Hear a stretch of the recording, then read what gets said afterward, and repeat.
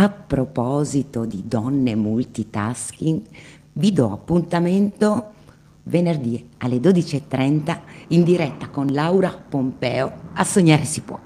Laura Pompeo è assessore al comune di Moncalieri con deleghe alla cultura, al turismo, alla biblioteca, ai teatri, alle pari opportunità, relazioni internazionali, è presidente del sistema bibliotecario dell'area metropolitana di Torino, parliamo di 70 biblioteche.